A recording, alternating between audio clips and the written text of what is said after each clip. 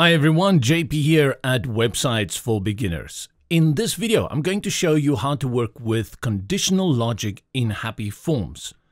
And maybe I'm going to tell you what is conditional logic. You may not know what it is and how it works. Before I do that, if you have no idea what HappyForms is all about, please follow the link in the description below to a previous video we had done on that. And that will introduce you to HappyForms, how you can create a free contact with it in WordPress, insert those shortcodes, and how to work with the builder. In this video, though, we are working with the Pro add-on. So for that, you'll have to go over to the HappyForms site.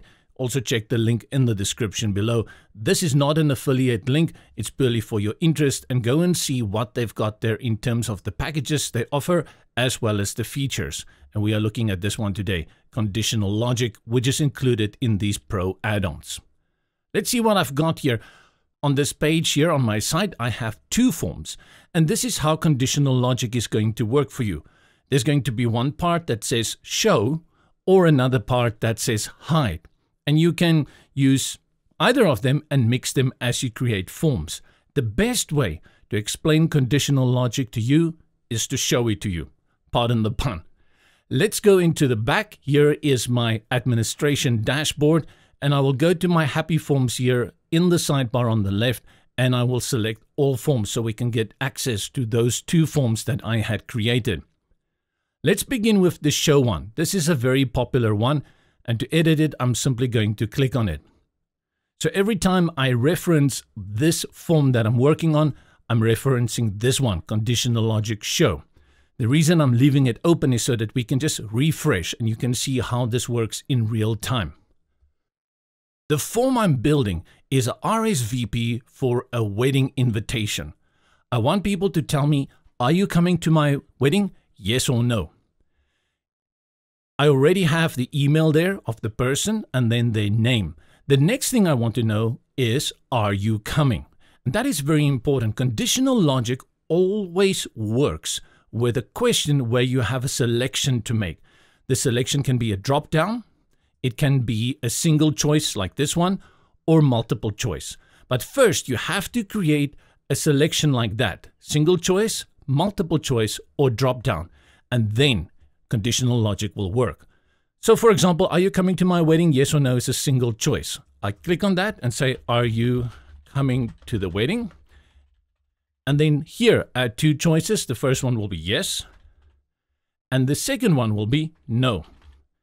Now, up to this point, we don't have conditional logic yet.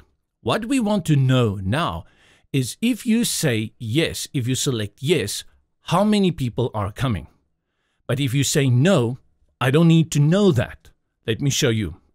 Add a part and we add a number. I'll search for number, click on that, and then over here type in how many people will be attending. And then go down here where you see logic. Select that. And we are going to say this part will show. And by saying that, it means it's hidden.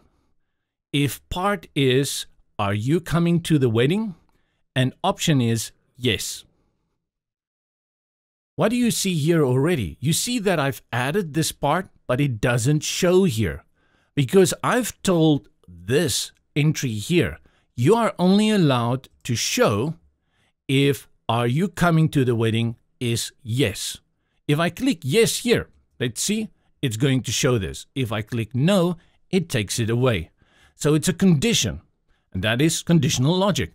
So let's go to About Me, to the front, we refresh it, and then we just go to that section. Person comes to your site, email name. Are you coming to the wedding? Yes. How many people will be attending? And then over here you select one or two, so on. If that person were to select no, then there's nothing to fill in. And that's how conditional logic works. It displays when it needs to display, or it hides when it needs to hide. Let's do one more show before we go into the hide. For this one, I'll build out something a little bit more extravagant. Let's say you want to know how this person wants to be reached. If you communicate with them, will it be via email? Will it be via phone? How do they want you to reach them? So we add a new part here and that will be single choice. And then I say, how can I reach you? And then the first one, we will say email. Second one, we will say phone. Third one, I'll say WhatsApp. And I will say, how can I reach you? Change that to preferred contact method. There you go. So you have email, phone, WhatsApp. What we want here is that when somebody selects email, it will open an email field. When they select phone, it will open a phone field. Same for WhatsApp. Let's go down, add a part, and begin with email. So we say here preferred email. And then we go to logic. This part will show if part is preferred contact method and option is email. Add another part. This time we look for phone. Phone. And we say preferred mobile number. Logic again. This part will show if part is preferred contact method, phone. And then we do the same for WhatsApp. And WhatsApp is also phone number, so we use phone again. WhatsApp preference. And same, we do the same. Go to this one, will show, and that the part is preferred contact method and WhatsApp. Let's update it here. And as you can see, currently nothing shows here. Let's go to the front, refresh this page. And now you see we have our conditional logic one, my form, which is a show form. First one, are you coming to the wedding? Yes. And then it opens this new field and I can choose the number preferred contact method, so I can update you about the wedding. If I select email, it will give an email field, so it will only accept email addresses. If I were to select phone, it will be phone number, and same for WhatsApp. And this is how show works in conditional logic. Now, hide is the opposite. With hide, you basically build out the form, and if somebody makes a certain selection, it hides the rest of the form. Hide you will use where you believe the preferred response will be positive, that people will have a lot to fill in, and that the hide will be the exception. Let's use the wedding again as another example. Let's go back, and this time I will exit here. Let's go load that second form, conditional logic hide. I add a part, and this will be a single choice. Are you coming? And that is for our wedding. First choice is yes, absolutely. And the second one, unfortunately not. Now what I'm going to do is I'll add that how many people are coming, which is a number part. Number. And how many people are coming how many people will be attending, rather.